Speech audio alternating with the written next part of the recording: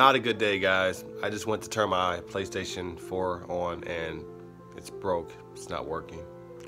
Um, this is what happens when I turn it on. Nothing. Absolutely nothing. It's not coming on. It showed signs of uh, breaking down for the past few months, but now it just will not come on. I tried a few things, so I'm gonna have to go. To, I'm gonna have to GameStop and go buy another PlayStation. There's absolutely nothing worse than waking up in the morning and having your day kind of planned out. I'm under the weather, so I'm kind of sick, so I didn't really plan on do, you know going anywhere.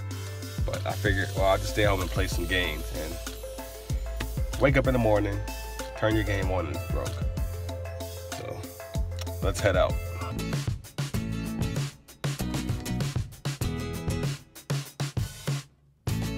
Okay, so I'm here at the bank right now, and here is a very valuable lesson.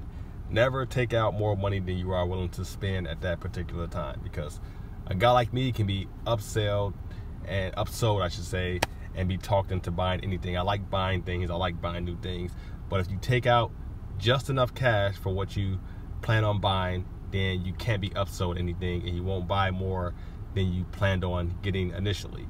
So that's why I don't have my bank card with me and I only took out a few hundred bucks, just enough to cover, I would say the price of a PlayStation Pro, just in case I get that. I'm not sure, but uh, yeah, I didn't bring, I didn't take out 800 bucks because I don't want to be talked into buying, you know, all these extra accessories, games, warranties, stuff like that.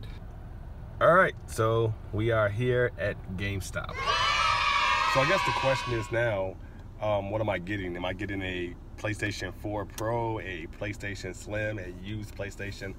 I'm not sure. I'm not a huge gamer. The one that broke was the original PlayStation 4. I actually got it on launch date uh, about four, four or five years ago now. So, and I didn't play it a whole lot. Um, so I'm still kind of surprised it went out. But yeah, so that's that's the question right now. What am I going to buy? I have enough money to get any PlayStation. Uh, but I'm not sure which one I'm gonna get.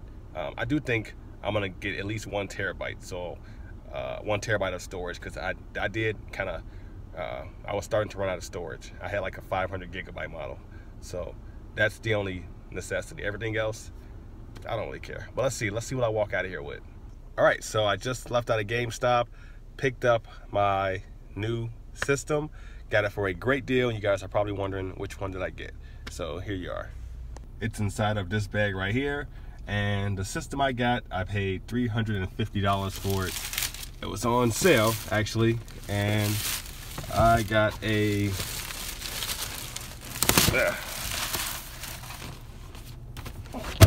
a PlayStation 4 Pro. Uh, Star Wars edition, Battlefront edition. Um, yeah, so PlayStation 4 limited edition Star Wars Battlefront 2 edition. Not only that, when I was in the store, I found out that Red Dead Redemption 2 is coming out. So I pre-ordered it. Check that out. Red Dead Redemption 2, I knew nothing about it. It doesn't come out till October, but I had a lot of fun playing that game for the PlayStation 3. So I actually pre-ordered that game. I don't normally pre-order games, um, but they're gonna remind me. I guess I'm gonna get like text alerts when it comes out. So I went ahead and pre-ordered it. So I'm pretty excited about that. Like I said, I'm not a, a huge, huge gamer, so I only buy probably two or three games a year. Um, I just don't, it's just not a lot of games that I play. But that was one game that I had a lot of fun with playing and uh, can't wait to pick it up. So let's head home. All right, so I am back home. So why not open this thing here? Why not use the set to open it up? You guys probably want to see this anyway. Let's see. So here's the bag that it came in. And yeah, so once again, PS4 Pro Limited Edition Star Wars Battlefront Edition. Here is the lovely box that it comes in, right here. Let me get you guys a closer shot. All right, so let me go ahead and get my knife and let's get this thing open. Place a cut there. Set on the side, because we may need that again, I'm not sure. Lay this down. Looks like this slides right out. So apparently that was the fake box. This is the real box. PS4 Pro. We have a quick start guide. Power cord.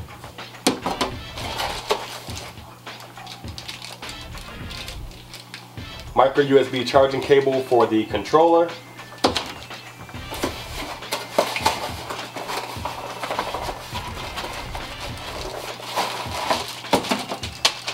Dropped something. you pick that up. HDMI cable.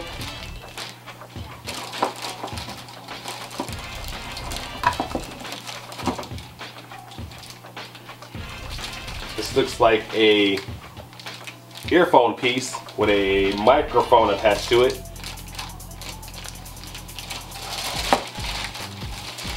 My special edition Star Wars controller. I'll get you guys a close-up on it in a second.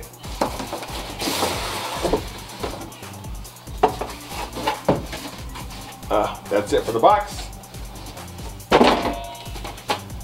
Uh, we have a Star Wars The Force is Strong with PlayStation manual. Looks like some Star Wars literature in here. I don't know. Whatever. Star Wars Battlefront 2 game. And I'm sure you guys know what this is. The PlayStation 4 Pro Star Wars Edition. And I did it upside down. Wait a minute. Yeah, upside down.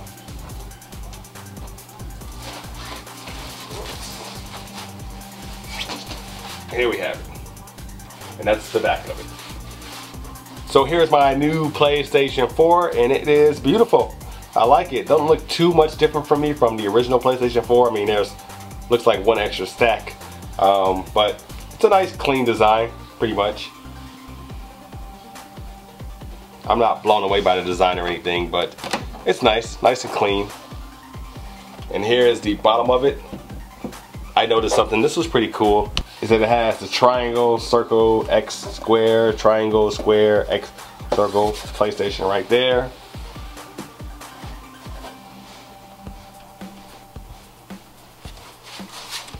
Got your slot here, your two USB ports here. On the back, you have your Ethernet port, USB port, digital optical out, auxiliary port, HDMI out, and power source. Looks like this piece right here pops off too. I'm not sure what for yet, but looks like that comes off. Maybe for a hard drive replacement or something. It also looks like there's a port up in there of some sort. Not sure what it's for quite yet. And the other side is just nice and clean. And I already have a lot of my fingerprints on it already. As for the controller, here it is. It says Star Wars all across this pad right here as you can see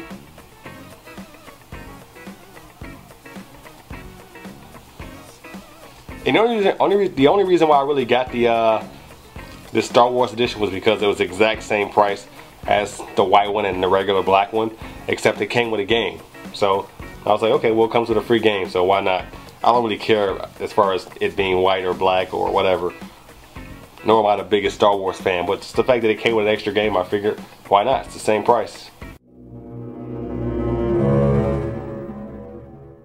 All right, now here comes the moment of truth.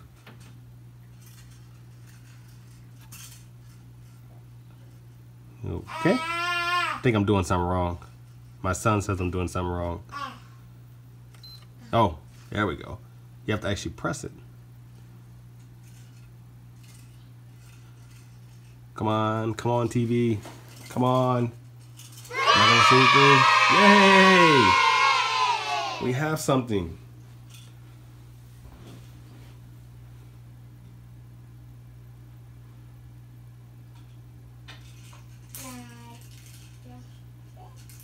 Jaden, we have something. We have something. We have power. Look.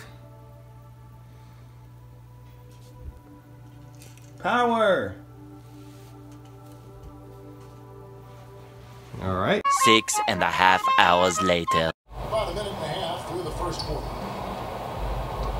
Rapia screen fires the three. And there's Stephen Curry on the assist by Thompson.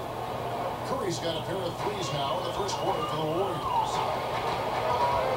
Pass to LaVine. Here's Markkanen.